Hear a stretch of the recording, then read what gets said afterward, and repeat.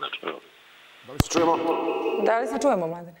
Toku je potraga za 57-godišnjim Milenkom Uvalinom, koji je e, nestao noćas e, u reci Dunav, na teritoriji Pančeva u blizini Luke Dunav. On je bio na jednom ribarskom čamcu dužine oko 10-11 metara sa svojim kolegom i prijateljem Igorom, Igorom Jankovim. Igor ima 52 godine i pod za sada nerazličnim okolnostima e, na njih je naleteo brod gurač koji je gurao e, dve ili tri barže. E, tom prilikom brod se, odnosno nije se brod, nego čamac se prevrnuo i potopio i nažalost od tog trenutka 57-godišnji Milenko Uvalin vodi se zvanično kao nestalo lice.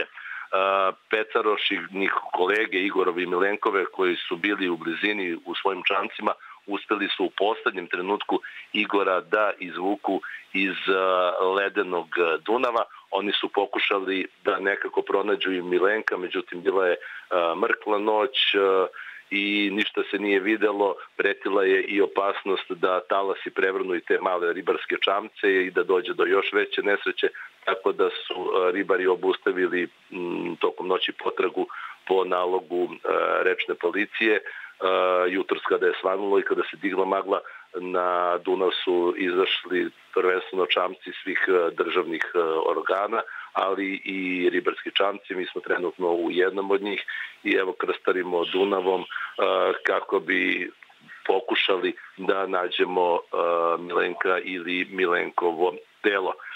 Tokom dana trebalo bi da bude utvrđe, odnosno trebalo bi da bude urađen i uviđaj, odnosno da se utvrdi koji je to brod ili koja barža je udarila čamac i da li se to sve dogodilo na plovnom putu, odnosno pod kojim okolnostima i tada ćemo znati i ko je eventualno odgovoran za još jednu strašnu nesreću koja se dogodila na reci Dunav na teritoriji Pančeva u blizini Luke Dunav. Toliko za sada sa lica mesta, sa reke Dunav, a naravno opširnije sa ekskluzivnim snimcima u našim narednim informativnim emisijama.